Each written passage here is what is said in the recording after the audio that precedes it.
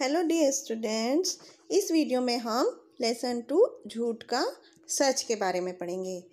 इस कहानी में बच्चों एक गोनू झा ने अपनी समझदारी से, अपनी सूझबूझ से, अपनी चतुराई से और हाजिर जवाबी से समस्या का समाधान निकाल, किस तरह से निकालता था गोनू झा उसके बारे में बताया है। जीवन में बच्चों सफलता पाने के लिए, सक्सेस होने के लिए हमें सूझबूझ होना बहुत ज़रूरी है। सूझबूझ मतलब सही समय पर सही काम करना। हमें सही समय पर सही बातें बोलना, सही काम करना बहुत ज़रूरी होता है। तभी हम किसी भी जीवन में आने वाली समस्या को सही तरह से हल कर पाते हैं। तो इस कहानी में बताया गया है कि किस तरह से गोनू झा अपनी वाकपटुता से, अपने बोलने से, अपने सूझबूझ से समस्याओं को सॉल्व कर देते थे, हल कर देते थे। तो आइए लेसन पढ़ना स्टार्ट करते हैं। गोनू झा एक, का एक लंगोटिया यार था।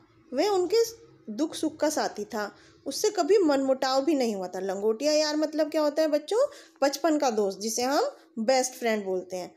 तो गोनू झा का एक फास्ट फ्रेंड था एक बचपन का दोस्त था। वो उसके हर समय उसके दुख में सुख में हर समय उसके साथ रहता था। उससे अभी कभी उसके झगड़ा भी नहीं हुआ था मतलब मन मुटाव मतलब कभी उनकी आपस में लड़ाई नहीं हुई थी। तो एक दिन उसने गोनू झा से कहा मित्र सभी लोग तुम्हारा लोहा मानते हैं। लोहा मानते हैं मतलब तुम्हारी तुम्हारा आ, कहना मानते हैं। तुम्हारी बात का वज़न मानते हैं। जो तुम कहते हो कि वो सही है ऐसा मानते हैं।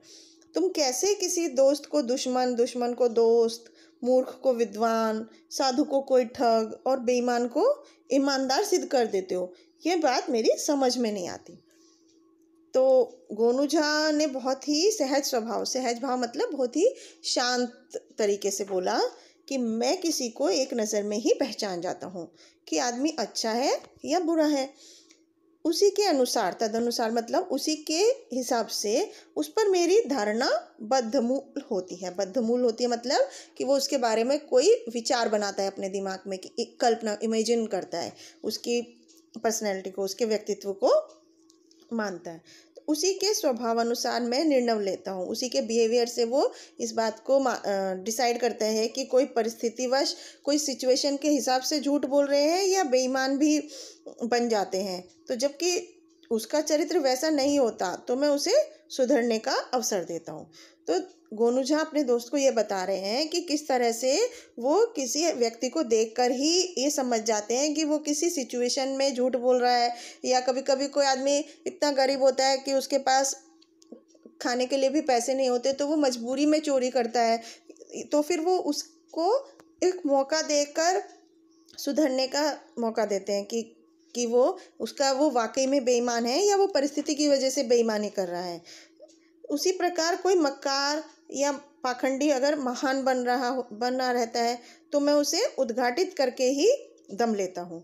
कि मतलब अगर कोई, जैसे साधु महात्मा होते हैं, कुछ लोग सही होते हैं, कुछ लोग क्या होते हैं कि मक्कार होते हैं, पाखंडी होते हैं, दूसरे को लूटने के लिए ऐसा करते हैं तो उनको वो सामने, उनका भेद खुलकर ही वो सांस लेते हैं।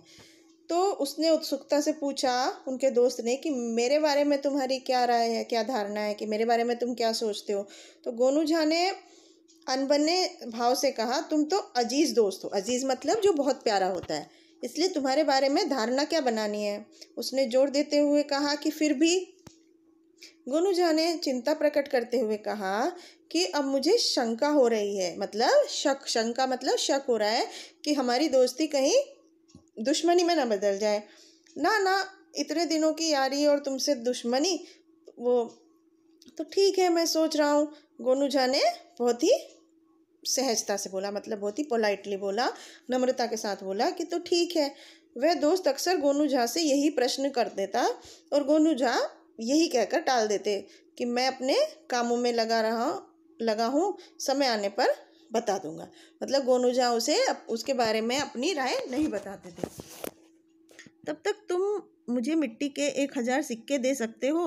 अभी पाँच सौ ही चाहिए और शेष बाद में दे देना। तो गोनू झा कहते थे उस अपने दोस्त से कि तुम मुझे मिट्टी के एक हज़ार सिक्के देने के लिए उससे पूछते हैं। तो मित्र ने पहले तो बात टालनी चाहिए उसके दोस्त ने, लेकिन किंतु काम बड़ा नहीं था। और गोनू झा जैसा परम मित्र मतलब इतना अच्छा दोस्त, जाने कैसे कैसे, जो ना जाने कैसे कैसे सॉन्ग भरता रहता है मतलब ड्रामे करता रहता है। इसलिए उसने हाँ कर दी कि भाई दे देगा कि उसका दोस्त इतना अच्छा नामी है। तो मित्र शीघ्र ही पाँच सौ सिक्के देने आ गया, उसका दोस्त ने उसको पाँच सौ सिक्के दे दिए।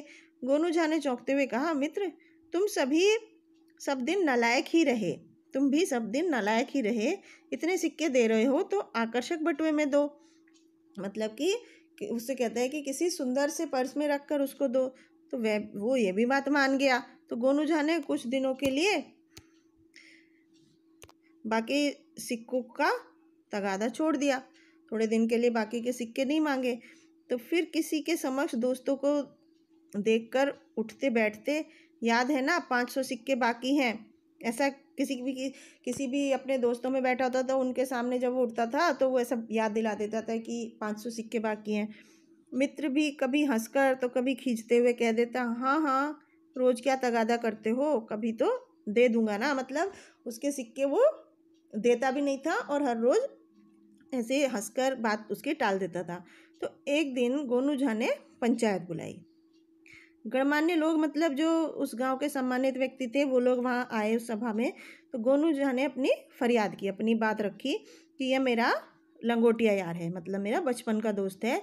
इसने शीघ्र लौटाने की शर्त पर यह छः महीने पहले मुझसे एक हज़ार सिक्के लिए थे। पाँच सौ तो जल्दी लौटा दिए और अभी और बाकी देने से मुकर रहा है मतलब मना कर रहा है। तो अभी तक चैन से बैठे मित्र ने अपने ऊपर लगे गंभीर आरोप से चौंकते हुए कहा अब वो दोस्त अपने ऊपर आरोप को लगे हुए देखकर चौंकते हुए बोलता है, मित्र, ये क्या बक रहे हो? मतलब क्या बोल रहे हो? यह भी कोई पंचायत में कहने की बात है? तुम्हारा सिर तो नहीं फिर गया? गोनू झा ने झुंझलाते हुए बोला तो मैं क्या करूँ? और कोई रास्ता नहीं बचा है मेरे पास। मैं प्रतिदिन तगादा करते करते अब ऊब चुका हूँ। मतलब परेशान हो गया हूँ हर रोज़ तुम्हें बोलते बोलते।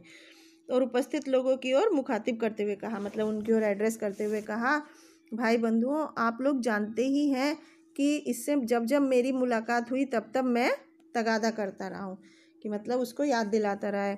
तो ये सुनकर कुछ लोग चुप रहे और कुछ ने हाँ में हाँ मिलाकर उसकी बात को समर्थन किया। फिर तो वह दोस्त गोनू झा को बेईमान, ठग, धूर्त इत्यादि बुरे बुरे शब्दों से बोलने लगा और अचंभित होते हुए पूछा कब मैंने तुमसे सिक्के लिए और कब लौटाए भी, एकदम साफ़ मुकर गया। मतलब कि उसने सिक्के लिए और नहीं दिए, इस बात को वो नहीं मान रहा था। तो गोनू झा ने अपने थैले से वही सुंदर सा बटुआ निकाला। उसी ने, दोस्त ने मिट्टी के सिक्के दिए थे। उसी थैले में, सुंदर से बटुए में, पर्स में ही उसने उसको मिट्टी के सिक्के दिए थे। उन्होंने पंचों को ये पर्स दिखाते हुए बोला कि, पंच परमेश्वर, इसी से पूछिए कि ये बटुआ किसका है? उसने बेहिचक कहा, है तो मेरा ही, पर इसमें मैंने मिट्टी के सिक्के दिए थे।